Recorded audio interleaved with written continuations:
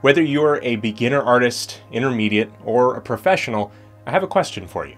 And it means something a little different depending on which of those things you are. Are you drawing enough? Now, don't freak out, calm down. Look, here's some running water. That question might actually cause some panic and angst, but if you give me a few minutes, you may find it's more encouraging than it seems. In fact, I'd even go so far as kind of a side note to say that social media may be poisoning you. But don't worry, because today we have the antidote.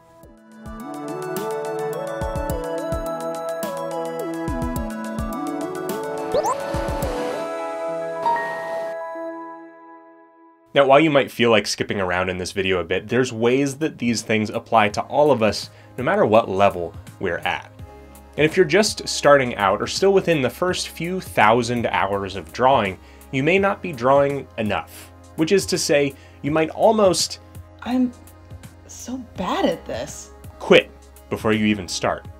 Or have long sporadic breaks between the times that you draw, enough to hate it, or to feel incapable of doing well, or learning to be better. My last video before Lightbox was about same face syndrome, and good gracious me, did a lot of people have same joke syndrome, where folks said that their problem is not being able to draw the same face more than once. And to me, that tends to be a problem faced by ones who are still in their first few thousand hours of drawing, very generally.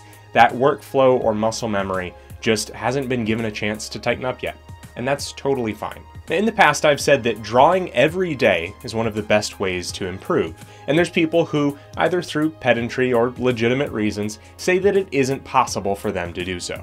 And that's fine, but the principle behind this advice is to adamantly, regularly draw not just when you feel like it. And 40 minutes a day, three times a week, will be more beneficial for you at this point than two hours once a week. Now, here's a concept that I think is pretty useful. Now, it's about the percentage of time that you spend drawing things that you want to draw. New ideas, fan art, stuff from your imagination, your comfort zone. And this is up against your vegetables. Things like studies, practice of fundamentals, things that may not feel as fun. Now, when you're just starting out, I think that it's important to foster the passion and keep things enjoyable. So 30% vegetables, 70% comfort zone, right? Well, this percentage is fairly similar when you're at that pro level, given that maybe 70% of your work is likely the kind of work you typically do, are used to doing, are being paid to do, and that you're at a point where learning is perhaps not as big of a priority as someone just starting out, even though you should really never stop learning. Now, for someone in the middle that's intermediate, I think that this percentage is almost the reverse. So 20% fun drawing, 80% vegetables. Why so low on the fun? Well, you're obviously taking art seriously and understand that there's things to improve, so doing some fun things here and there, but ultimately getting those veggies taken care of is going to help you the most. So, on to intermediate artists, when I ask you, are you drawing enough? What do we mean? Well, one tendency that I see in a lot of intermediate artists is a lack of iteration and exploration. They aren't necessarily drawing enough or thoroughly. Now, when they have a goal, either through their own initiative or through an assignment to draw something, like let's say a dog character design, they'll do one drawing of a dog and call it done. Or they draw the head and not the body, or do some form of what's actually kind of the minimum. Now, artists with more experience would tell this group the value of not just drawing something once, but to do the exploration work of your subject, to figure things out not just in your head, but on the page. And once you've drawn something once, try it again, push it further, make different decisions. Honestly, there's been a lot of times where someone says, This is my character. And I mentally just go, That isn't really a character, it's a drawing. And something tells me it was your first drawing, too. So while drawing enough for beginners is about the frequency and the regularity of the times that you draw, drawing enough for an intermediate artist is all about the thoroughness and the time that they spend on a project. Now, for pros or people approaching a sort of expert level, and again, nobody ever stops learning, so this is all relative, the question, are you drawing enough, is in the same vein as intermediate with a sort of mutation and texture to it. Are you drawing enough per project, per design? Fleshing things out like expressions, poses, props, environments. Or if you aren't necessarily doing visual development work, the equivalent of that in your field. See, when I ask the question, are you drawing enough, I'm sure that there are a lot of you who almost immediately start thinking about your Instagram account, how often you're able to pump something out, comparing yourself to maybe that prolific artist who's able to generate a full illustration every day somehow. Now, you can very easily get into the rut of making something just to post, but you can also start cutting corners on projects and cheating yourself in the long run through doing that. So for myself, there are so many things that I actually learned and figured out and got feedback on at Lightbox Expo last week. Some of it through portfolio reviews from some of the folks that I'd either love to be working with or at the level of. And this is something that I realized I need to make a change in with my own process. Oftentimes, a character design or project takes months of solid work in the industry. It's not just one single drawing or even a few.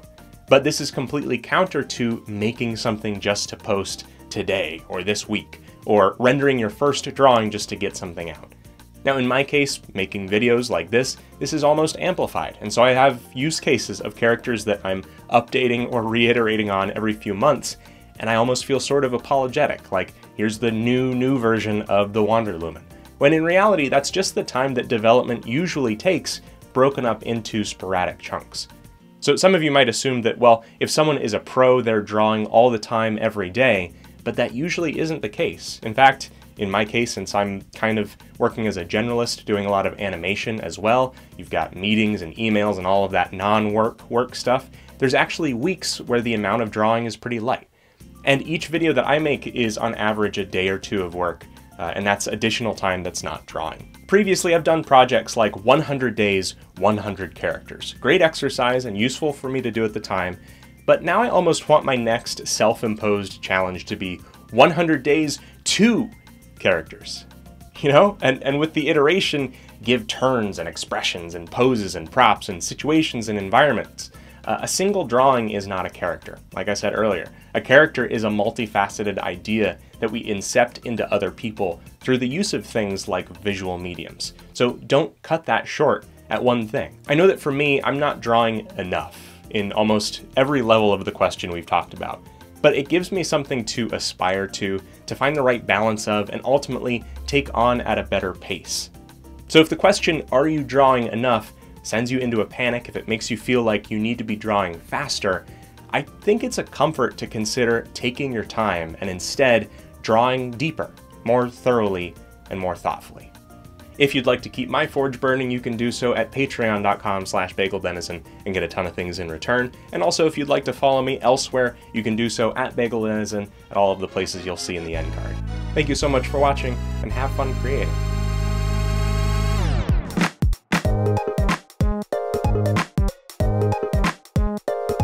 Related to all this, it's mid-September right now and people are already freaking out about Inktober trying to simultaneously promote themselves, improve their work, and post something every single day. This isn't what Jake Parker wanted, guys. Calm down. No one's forcing you to do it. Take it one step at a time.